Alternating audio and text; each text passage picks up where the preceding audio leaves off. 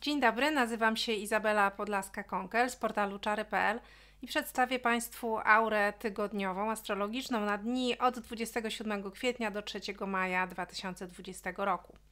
W tym tygodniu wszyscy będą nastawieni na szybkie załatwianie spraw w pierwszej połowie tygodnia.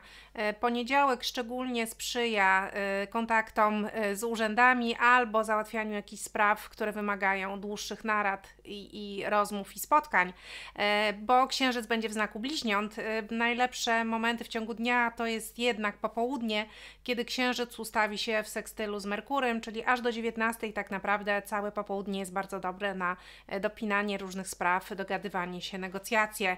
E, wieczorem, e, tuż przed dziesiątą wieczorem, Merkury opuści znak e, barana i wejdzie do znaku byka, co oznacza, że w tym tygodniu będziemy bardziej nastawieni na konkrety, na rozmowy o pieniądzach. Też to jest dobry tydzień, żeby ubiegać się o jakieś pożyczki i pomoc finansową, ale dopiero od wtorku, chociaż wtorek, kiedy księżyc będzie co prawda już w znaku raka, czyli będziemy bardziej serdeczni i bardziej skłonni do współpracy z innymi ludźmi, to jednak e, nie jest to dobry dzień na składanie różnych dokumentów.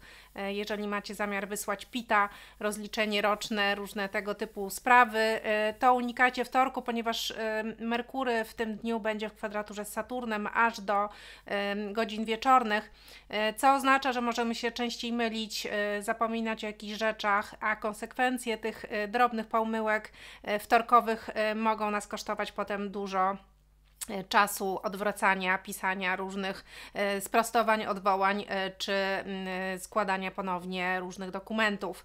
Aczkolwiek we wtorek jest moment w ciągu dnia, kiedy jest dobrze, to jest między 11 a 12, kiedy księżyc będzie w sekstylu ze słońcem, więc jeżeli chcecie we wtorek coś ważnego zrobić, te południe jest najlepszym na to momentem. W środę planety będą dynamicznie układać się na niebie, księżyc w raku sprzyja bardziej kameralnym spędzaniu czasu bardziej kameralnie, będziemy już myśleli o odpoczynku i długim weekendzie. E, najlepsze momenty w ciągu dnia to jest rano między 9 a 10, kiedy księżyc ustawi się w trygonie z Neptunem. Po południu będzie bardziej niespokojna aura, więc unikajmy jakichś ważnych spotkań czy rozmów e, po południu, bo księżyc będzie w opozycji z Plutonem. E, w czwartek zdecydowana poprawa aury, księżyc będzie w znaku lwa, będziemy bardziej energetyczni, bardziej nastawieni na szybkie załatwianie spraw przed piątkiem, który już jest wolny. E, natomiast unikajmy godzin porannych, e, e, żeby załatwiać jakieś trudne sprawy, bo księżyc będzie wtedy w opozycji z Saturnem. Najlepszy moment w ciągu dnia między 12 a 13, kiedy księżyc będzie w aspekcie z Merkurem, to jest też dobry czas na kupowanie różnych rzeczy, zamawianie różnych tańszych rzeczy, szukanie różnych okazji. W ogóle czwartek jest na to bardzo dobry. I wieczorem, i popołudnie i wieczór y, sprzyja wymyślaniu różnych ciekawych aktywności, nowych y, gier, zabaw y, czy hobby, które w długi weekend, którymi w długi weekend możemy się zająć.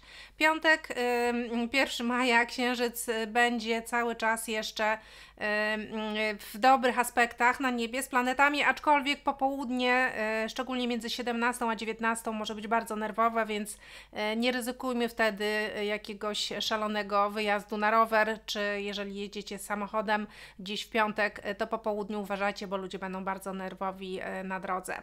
E, sobota, księżyc pannie, będziemy bardziej skłonni do aktywności fizycznej, ale też sprzątania, porządkowania, robienia jakichś wielkich przemeblowań.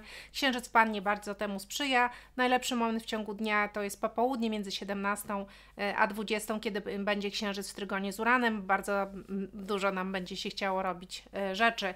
Natomiast w niedzielę księżyc w pannie cały czas ale w kwadraturze z Neptunem, w opozycji z Neptunem i w kwadraturze z Wenus, e, szczególnie popołudnie może być bardziej leniwe, e, bardziej zaplanujmy jakieś e, kulturalne atrakcje i nie, nie czujmy wyrzutów sumienia, że odpoczywamy i nic nie robimy.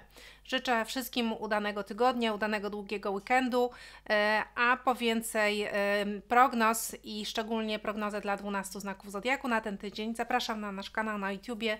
E, Miłka Krogulska przygotowała osobny filmik w tej sprawie. Jeśli chcesz być na bieżąco z tym, co dzieje się na niebie, subskrybuj nasz kanał. Zapraszamy!